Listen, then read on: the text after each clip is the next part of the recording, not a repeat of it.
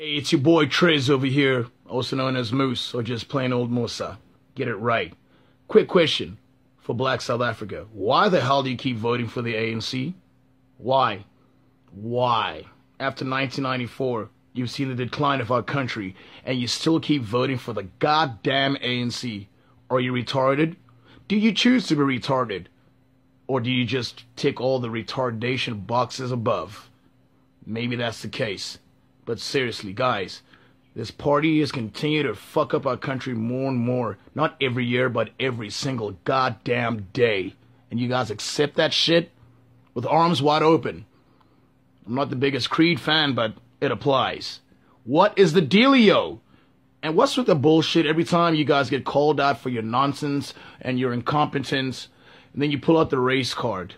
Oh no, he's white, he's racist. Uh, no, you're incompetent and stupid. That's you. Seriously though, why? Why? Had a conversation with an old lady the other day, and she said if we ever had a white president again, apartheid would come back. Now, does that sound stupid or what? For me, that's the most retarded thing I've heard in the 21st century. What kind of shit is that? It's simple, Black South Africa. It's the year 2020.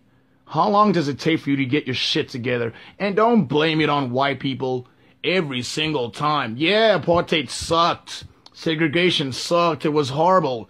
We get that. Oh, it was very bad. Some injustices were done and that need to be paid for. But how long are you going to ride that dead, tired horse? How long? And why? You don't even do that in Skyrim. Even in Skyrim, horses die. No, seriously, they die. But seriously, Black South Africa, get your shit together. And you have people like the EFF and BLF. Wow. Lots of retardation going on there. Somebody feeling a little insecure? Is that it? Black South Africa, it's simple. Get your shit together. Stop complaining. Get off your black ass and work for yourself. It doesn't matter what you do. I mean, if you're going to sell drugs, that's sell weed. That's not the point. Just get your shit together.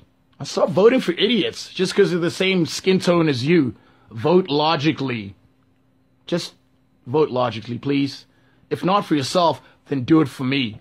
Because y'all are about to piss me off. Damn. You know what I mean? Stop your shit.